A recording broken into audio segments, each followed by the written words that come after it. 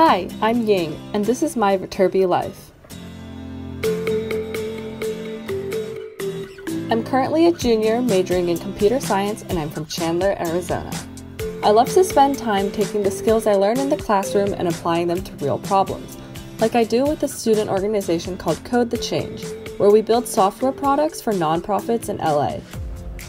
I'm also one of the co founders of Athena Hacks, an all female hackathon hosted right here at USC.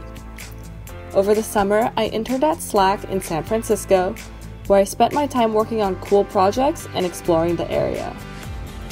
When I'm not in class, I love to hang out with friends, go to football games, and explore everything LA has to offer.